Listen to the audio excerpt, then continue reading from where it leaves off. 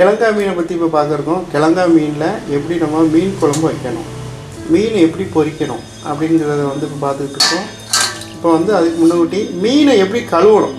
மீன் நம்ம கூட கழுவ தெரியல சிலருக்கு செதில் எடுக்கணும். அது கடையில் வந்து நம்ம வாங்கிட்டு வர்ற மீனில் பாதி தான் செதில் எடுத்து தருவாங்க. மற்றது நம்ம தான் செதில் எடுக்கணும். உள்ளுக்குள்ளே உள்ள அந்த அசடுகளை எப்படி எடுக்கணும் அப்படிங்கிறதெல்லாம் பாருங்கள் அது உள்ளுக்குள்ளே அசடுகள்லாம் அதெல்லாம் எடுத்துடணும் வெளியில். எடுத்து நல்லா சுத்தப்படுத்திக்கணும். மீன் நல்லா சுத்தப்படுத்திக்கணும். அதுக்கப்புறம் தான் வந்து நம்ம குழம்புக்கு பயன்படுத்தணும். கழுவுன மீனை திருப்பி ஒரு நல்ல தண்ணியில் திருப்பி கழுவிக்கிடணும். இந்த கிழங்கா மீன்கிறது வந்து மிகப்பெரிய பத்திய கறியில் இருக்குது பத்திய மீன். யாருனாலும் சாப்பிடலாம். இது வந்து மருத்துவ குணம் வந்து அதிகமாக உள்ள ஒரு மீன் கிழங்கா மீன்.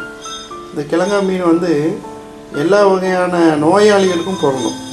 எனக்கு கொலஸ்ட்ரால் இருக்குது ப்ரெஷர் இருக்குது சுகர் இருக்குது அப்படின்னு நினைக்கிறவங்க கூட அந்த கிழங்கா மீனை எடுத்துக்கலாம். அது ஒன்றும் செய்யாது இது பேரே பத்திய மீன் தான் சொல்லியிருக்காங்க.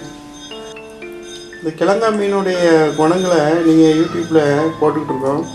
அது நீங்கள் பார்த்து தெரிஞ்சுக்கணும் மருத்துவ குணம் என்னென்னலாம் அப்படிங்கிறத அதில் சொல்லிக்கிட்டு இருக்கோம். நீங்கள் அதை பார்த்து தெரிஞ்சுக்கணும் பாருங்க நல்லா சுத்தமாக கழுவிட்டாங்க. கழுவுன மீனில் படுத்தாங்க என்ன செய்தாங்க பாருங்கள் உப்பு போடுறாங்க. உப்பு தேவையான அளவு போடுறாங்க. உப்பு போட்டு நல்லா விரவும்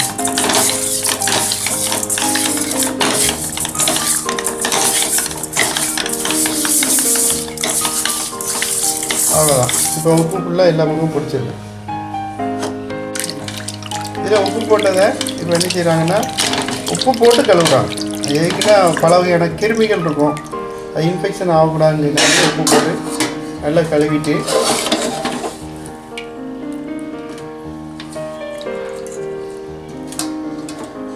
தண்ணியை தூர ஊற்றிட்டு இப்போ இதில் வந்து நல்ல தண்ணி ஊற்றணும் நல்ல தண்ணி ஊற்றி இப்போ இதை கழுவணும். பாருங்க நல்ல தண்ணி. இது சுத்தமான தண்ணி ஊற்றி நல்லா கழுவி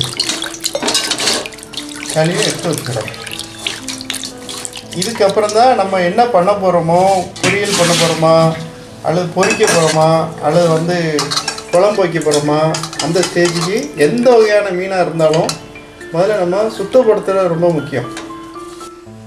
தேவையான பொருட்கள் எடுத்துக்கலாம். ஒரு பதினஞ்சு பல் பொடி பூ பொடி உள்ளி எடுத்துக்கணும் ஒரு பத பதினஞ்சு பல் பூண்டு. ஒரு பச்சை மிளகாய் ஒரு தக்காளி. வெந்தயம் கொஞ்சம். அதெல்லாம் இதெல்லாம் கட் பண்ணிக்கலாம்.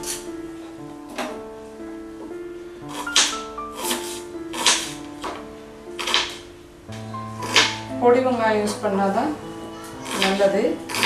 குழம்பு நல்ல டேஸ்ட்டாக இருக்கும். எப்போதுமே மீன் குழம்புக்கு பொடி வெங்காயம் மட்டும் யூஸ் பண்ணுங்கள் பெரிய வெங்காயம் யூஸ் பண்ணாதீங்க. பொடி வெங்காயத்தை ஒரு கொஞ்சம் கட் பொடிசாக கட் பண்ணிவிட்டு ஒரு தக்காளி ஒரு பரவாயில்லாமல் ஒரு பெரிய அளவு தக்காளி. எப்போதுமே தக்காளியில் இந்த இதை எடுத்துடணும். இதுதான் ஸ்டோன் ஃபார்ம் ஆகிறதுக்கு மெயினான காரணம். இந்த இதை எடுத்துடணும் குடும்பம் வரைக்கும் கொஞ்சம் விதைகளையும் எடுத்துட்டிங்கன்னா நல்லது தான்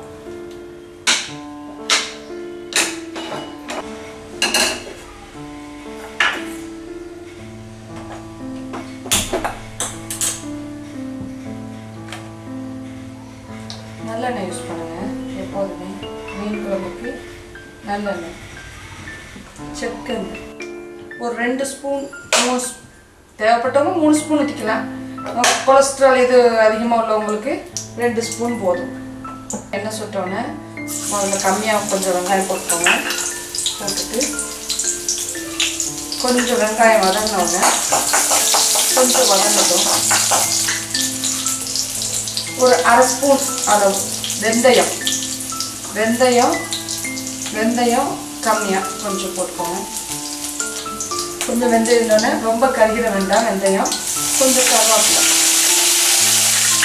ஒரு பத்து பதினஞ்சு பூண்டு மீன் குழம்பு சில மீன் குழம்புக்கு வெள்ளைப்பொடி யூஸ் பண்ணுறது ரொம்ப நல்லது. சாதாரணமாகவே வெள்ளை- வெள்ளைப்பொடி எல்லா குழம்புக்குமே அதிகமாக யூஸ் பண்ணி யூஸ் ஒரு பதினஞ்சு பூண்டு வெள்ளைப்பொடி நல்லா அந்த எண்ணெயில் வெள்ளைப்பூட நல்லா வேக இருக்குங்க வதங்கட்டும் கொஞ்சம் தீயை குறைச்சி வச்சுக்கோங்க இல்லாட்டி அந்த வெந்தயம் எல்லாம் கரைஞ்சிடும் கரைஞ்சிட்டுனா கொஞ்சம் கசக்க ஆரம்பிக்கும் வெள்ளைப்பூடி நல்லா வதங்கிட்டு வதங்கினோடனே ஒரு தக்காளி.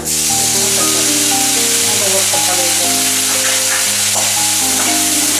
போட்டு அதையும் நல்லா வதக்கணும் நம்ம வெட்டி வச்சிருக்க பொடி வெங்காயம் அதையும் போட்டுருங்க. பொடி வெங்காயம் ரொம்ப இது பண்ணணும் இல்லை. அதனால் தக்காளி போட்டுட்டு நம்ம பொடி வெங்காயம் போடணும்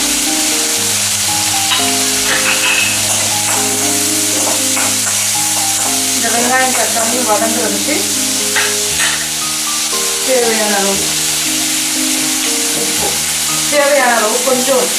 முதல்ல தேவையான அளவுக்கு மட்டும் போதும்.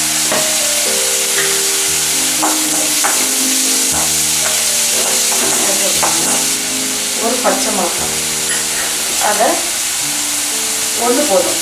கீறி அதை போட்டோம்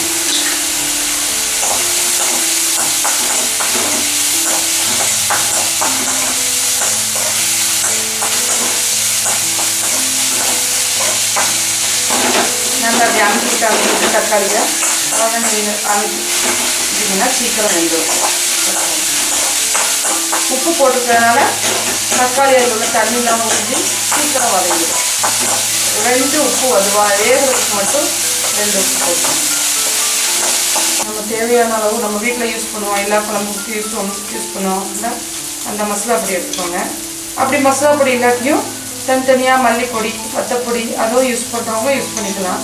நம்ம சாதாரணமாக குழம்புக்கு யூஸ் பண்ணுற பொடி.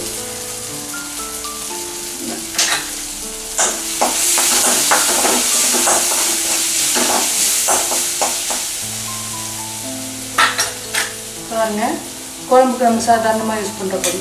அதில் இந்த ஸ்பூன் அளவு இதில் ஒரு ரெண்டு ஸ்பூன் போடுறோம் குழம்பு கூட கொஞ்சம் வாங்கணும்னா கூட ஒரு ஸ்பூன் மூணு ஸ்பூன் போட்டுக்கலாம். ஒன்றும் பிரச்சனை இல்லை. உங்களுக்கு தேவையான குழம்புக்கு தகுந்தாப்ப பொடி போட்டுக்கோங்க. இதுலேயே மஞ்சள் பொடி வத்தப்பொடி மல்லிப்பொடி சீரகப்பொடி மிளகு எல்லாமே இதில் சேர்ந்துருக்கு நல்லா வதங்கினோன்னே புளி வந்து நல்ல ஒரு கிண்ணி அளவுக்கு ஒரு சின்ன கிண்ணி அளவுக்கு புளி கழிச்சு வச்சுக்கோங்க. பாருங்க ஒரு புளி. ஒரு கொட்டை அளவுக்கு ஊற்றி தண்ணி ஊற்றி வர வச்சுருக்கேன் அதை கலவு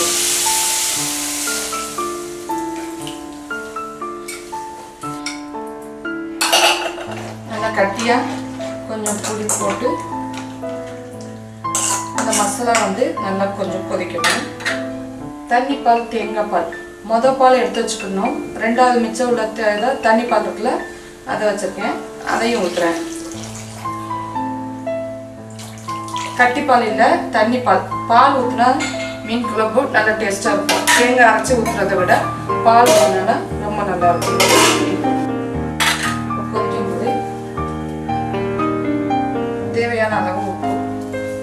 எவ்வளோ எடுக்கணுமோ அது தகுந்தாப்புல கொஞ்சம் அது தக்காளி வந்து வேகிறதுக்கு மட்டும்தான் அப்போ தான் உப்பு போட்டோம். இப்போ உங்கள் டேஸ்ட்டுக்கு தகுந்தாப்புல உப்பு போட்டுக்கோங்க. உப்பு அதிகமாக வேணும்னா அதிகமாக போட்டுக்கோங்க. கம்மியாக வேணும் அதே மாதிரி காரம் அப்படிதான். அவங்கவுங்க டேஸ்ட்டுக்கு தகுந்தாப்புல காரமும் உப்பு அதை சேர்த்துக்கலாம்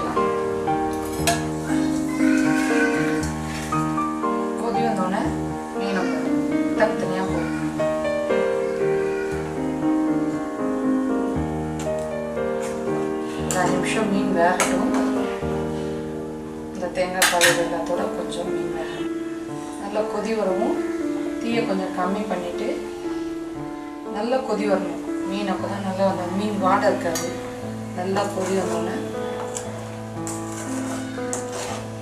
கொஞ்சம் தீயை கொஞ்சம் கம்மி பண்ணி கொஞ்சம் நேரம் ஒரு நிமிஷம் மூடி வச்சுருங்க அது வேகட்டும்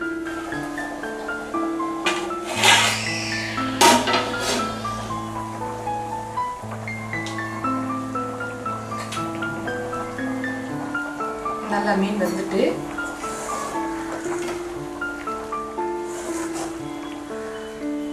வெந்ததுக்கப்புறம் கட்டிப்பால்.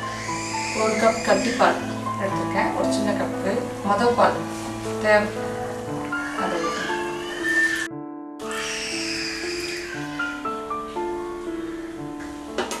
கொஞ்சம் மூடி வச்சு இது ஒரு ரெண்டு நிமிஷம். ரொம்ப நேரம் கொதிக்க வேண்டாம். ஒரு ரெண்டு நிமிஷம் கொதிச்சா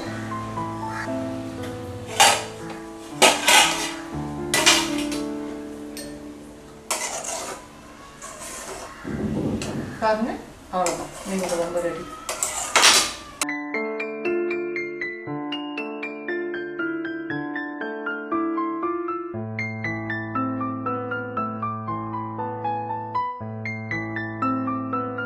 கட் பண்ணுவீங்க